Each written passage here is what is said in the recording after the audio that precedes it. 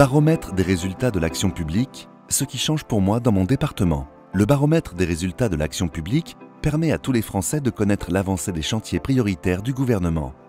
Ces chantiers répondent à quatre axes prioritaires. Plein emploi et réindustrialisation, transition écologique, progrès et services publics, et ordre républicain. Pour chaque chantier, un objectif à atteindre et des indicateurs d'avancement sont présentés. Ces chiffres vous permettent de connaître l'avancement des chantiers prioritaires dans toute la France, dans votre région et dans votre département. Prenons un exemple. Lorsque vous sélectionnez le département de la Haute-Loire, vous accédez à la liste des chantiers prioritaires mis en œuvre sur le territoire. Vous pouvez filtrer ces chantiers par thématique ou rechercher directement un chantier spécifique dans la liste. Par exemple, le chantier Développer la part des voitures électriques est l'un des chantiers prioritaires du gouvernement pour la transition écologique.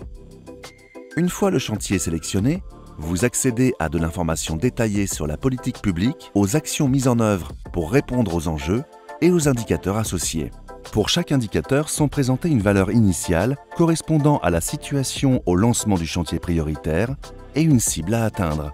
Pour l'indicateur nombre de points de recharge rapide ouverts au public, l'objectif fixé par le gouvernement est de 181 830 points de recharge ouverts d'ici décembre 2026. Le pourcentage d'avancement depuis juillet 2022 est visible. Les données sont également indiquées par département.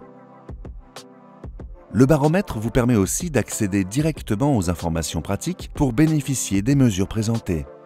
L'État agit pour vous dans votre département. Rendez-vous sur ce qui change pour moi.gouv.fr.